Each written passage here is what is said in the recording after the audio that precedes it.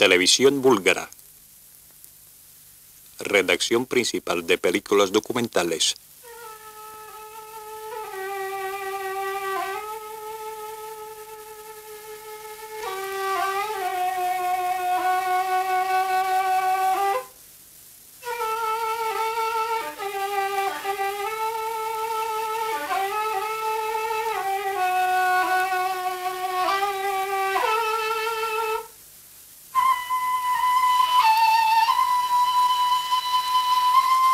Las dos manos de Orpa.